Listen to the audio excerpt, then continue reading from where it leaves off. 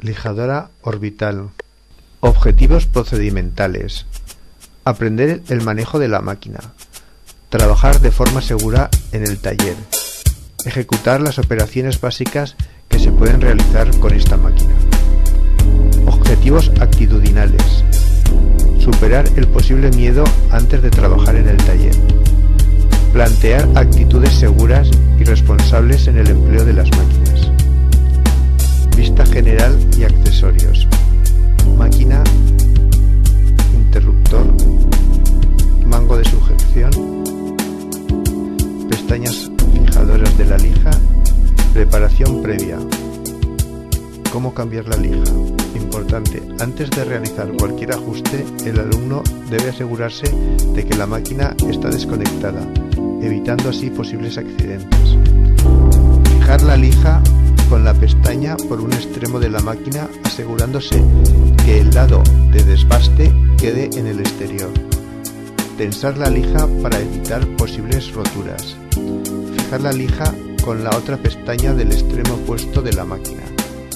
Proceso. Fijar el tablero con gatos o pinzas a la superficie de trabajo.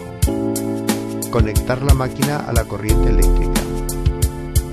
Encender la máquina deslizando el interruptor.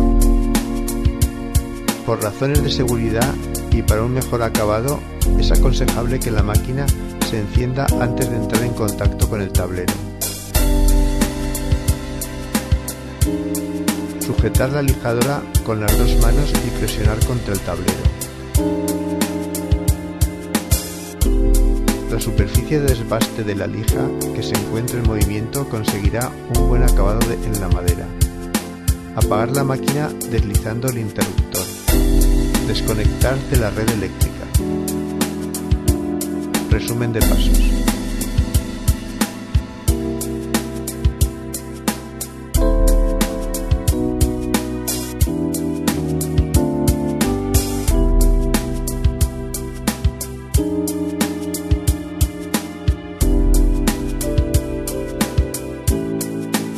Recomendaciones finales. Remitimos al vídeo de seguridad y protección personal. Remitimos al vídeo de buenas prácticas y gestión de los residuos. Reflexiona. ¿Qué operaciones se pueden realizar con esta máquina?